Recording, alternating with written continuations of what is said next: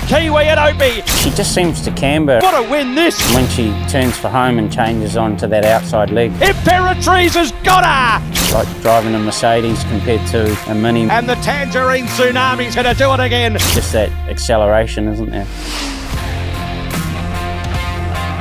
She jumped and just got sort of cut off a little bit at the start, so she had to come back a spot. But then she travelled nicely and uh, came into the race nice enough. But obviously, he's a high-class colt and he just had such a pull on the weights. He proved too strong for her on the day. Cylinder! Cylinders won the Newmarket by a length. She just went across the road to the Cranbourne course proper and uh, she went a thousand metres over there in company and and this morning she just travelled down to our local beach here and just just had a morning in the surf. So no, she's she's brightened very well.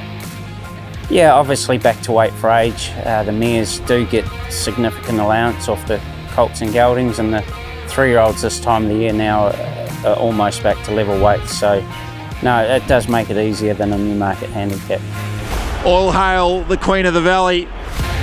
For the whole stable, New Zealand and Australia, and no, it'd be pretty special. She's uh, certainly probably the best horse Te Akau's ever had now.